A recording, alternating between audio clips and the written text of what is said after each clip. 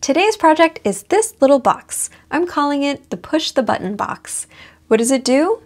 Well, you can program it to do pretty much anything, but as you saw in the opening of this video, I have it programmed to work kind of like a pause button for music playing on my phone.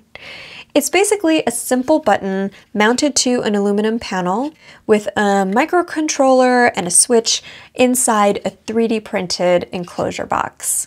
But this project is special in a couple of ways. First, this project is a collab with my awesome friend Liz over at Blitz City DIY. Liz wrote the code for this project, and she'll be doing a video about it too, so head over to her channel to learn about the programming and the electronics portion of this project.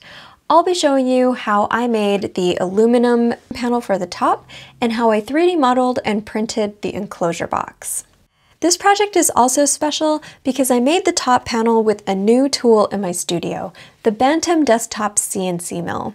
If you're following me on social media, you may already know I'm a remote resident artist for Bantam Tools, and they sent me this machine and their PCB mill to use in my projects. So I'll be doing a lot more with these two machines.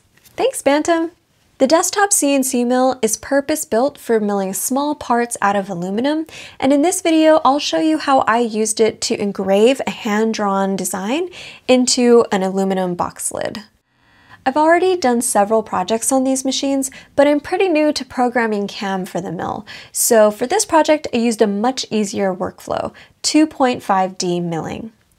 2.5D milling allows me to send a 2D SVG file to the machine without having to generate G-code in a 3D program like Fusion 360. The SVG workflow has been really great for helping me to get started with milling because it kind of leverages my background in graphic design and it allows me to be really free with how I create designs for milling since there are lots of different ways to create 2D vector graphics. Here's how I did it for this project.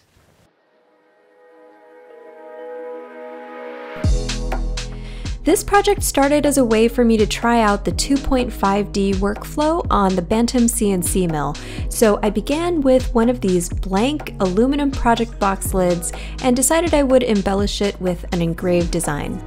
I wanted to go for a hand-drawn look, and I was really inspired by the modular synth designs of Winterbloom. I'll link to them below.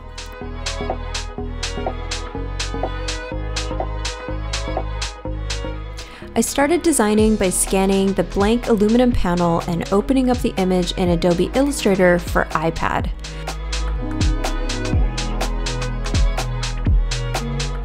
I measured the button I wanted to use and made a circle for the mill to cut out as a mounting hole. Then I just doodled the design around the hole, my plan was to engrave the design with a metal engraver bit, so I didn't need to worry too much about the line width here. I was just going for a design that would be legible and graphic.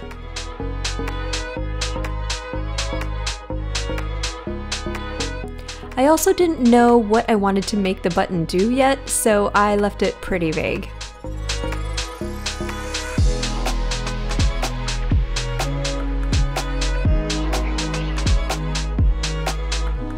Adobe Illustrator for iPad syncs your files seamlessly to the desktop version of Illustrator, so once I had a hand-drawn design that I liked, I moved over to my laptop to finish up the file. I needed to tell the machine what to cut and what to engrave in my design, and Bantam makes it pretty easy to do this with their advanced SVG workflow. You can use colors in your vector art program to assign different types of operations to parts of your design. So I colored the mounting hole red to mark it as a cutout, and the rest of the design I colored blue to mark it as engrave. Now when I open up the file in the Bantam software and select Advanced SVG, the software automatically knows what to cut and what to engrave.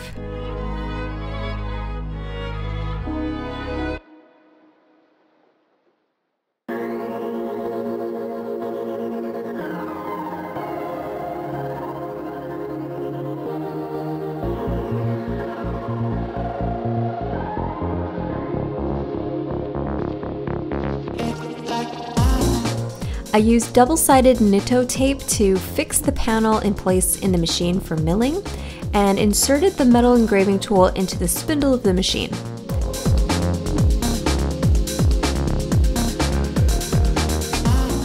The Bantam software has an internal tool library that it uses to manage the speeds and feeds for the SVG workflow, and I didn't need to change anything there for this small project.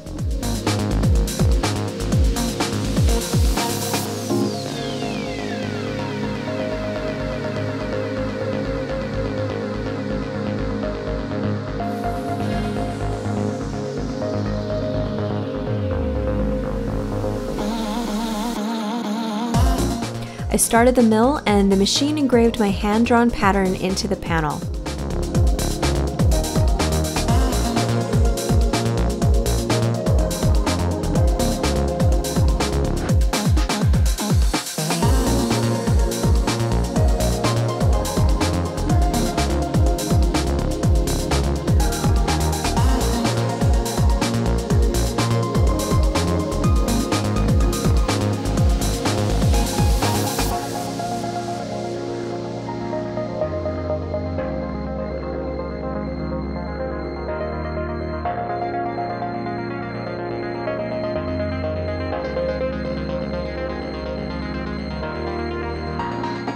After the engraving pass, I changed the tool to a quarter inch flat end mill and cut the mounting hole.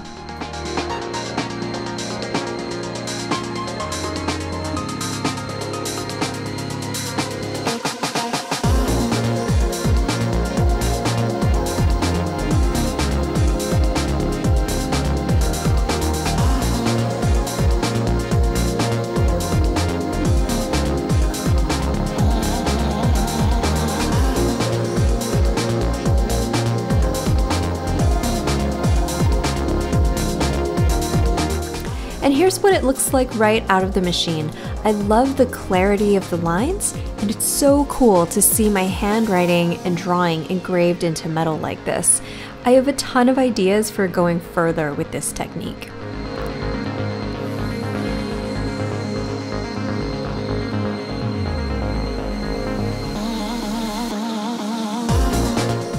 I love the look of the aluminum, but I wanted the design to pop more, so after cleaning off the dust and chips, I brushed black acrylic paint into all the engraved grooves. I pushed the paint deep into the grooves and then quickly wiped it off the surface, and this really brought out the design nicely.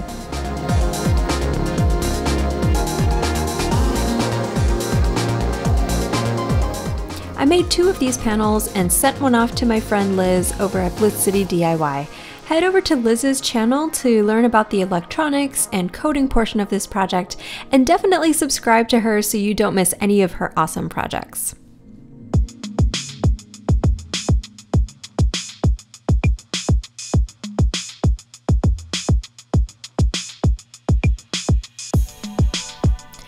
To make the 3D printed box, I went back to my scan of the metal faceplate to locate the position of the holes and the outer perimeter.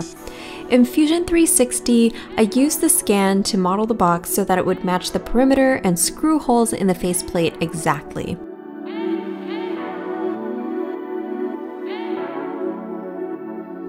That got me to the basic shape of the box, but I wanted to place all the electronics inside so that I could make holes and standoffs in all the right places. To do this, I used a fantastic resource, the Adafruit CAD files repository on GitHub.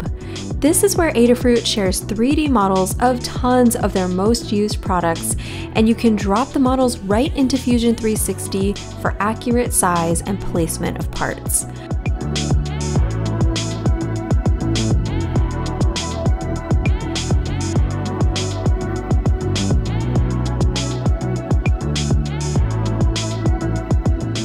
I grabbed the Feather microcontroller board and the slide switch and dropped them into place in my Fusion file. This helped me figure out where to place everything and create mounting points for holes for the switch and the USB cable.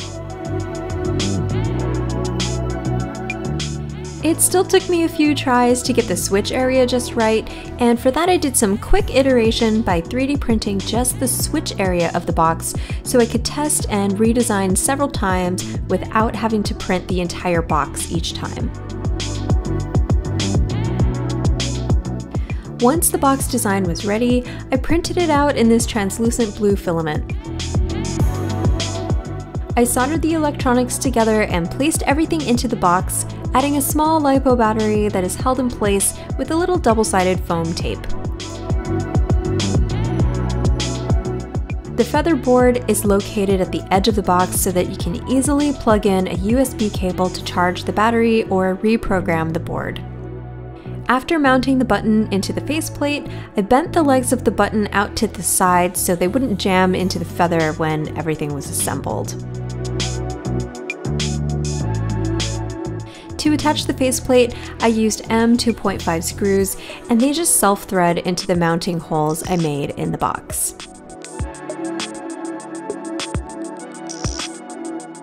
Now that it's all put together, I can connect the box to my phone using Adafruit's Bluefruit Connect app on my iPhone. Once connected, pressing the button will pause or resume any music that's playing on my phone. Again, Liz will be sharing the code that makes all this work over on her channel, so definitely head over there and check it out.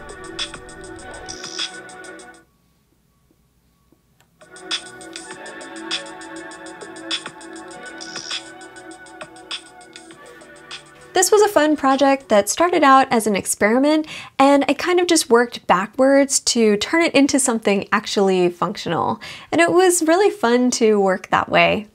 Thanks so much to Liz for collaborating with me on this, and thanks to Bantam Tools for taking me on as a remote resident artist. By the way, they don't pay me to make videos like this or to do any posting about their machines. They just sent me the machines and said, make something cool with them. And that is really amazing. So thanks again to Bantam Tools and I've got more projects coming up with both of these machines.